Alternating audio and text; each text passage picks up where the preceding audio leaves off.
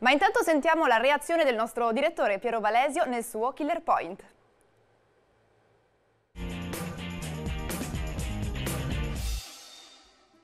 Mai come oggi Edgar Foster Wallace avrebbe gioito. Dentro di lui, certamente, ma anche al di fuori di lui. Forse avrebbe fatto un balzo sulla sedia come milioni di persone in tutto il mondo hanno fatto, oggi più o meno all'ora di pranzo.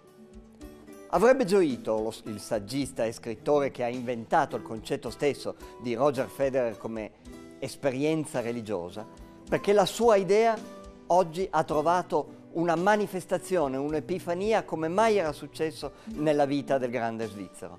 Perché la vittoria su Nadal non è stata soltanto un grande successo sportivo e i due non hanno dato vita soltanto ad una partita indimenticabile, ma il modo in cui Federer ha vinto, in cui è rimasto in campo, in cui ha risposto agli attacchi dell'avversario come mai gli era successo in carriera, nel modo con cui ha espresso dei vincenti di rovescio o in cui ha retto lo scambio sulla diagonale di rovescio come mai era successo, ecco questo ha rasentato davvero l'esperienza religiosa, laddove per esperienza religiosa si intende il modo e la possibilità di andare oltre i propri limiti, di giocare le proprie speranze e di vederle concretizzate così, d'amblè, sotto i tuoi occhi.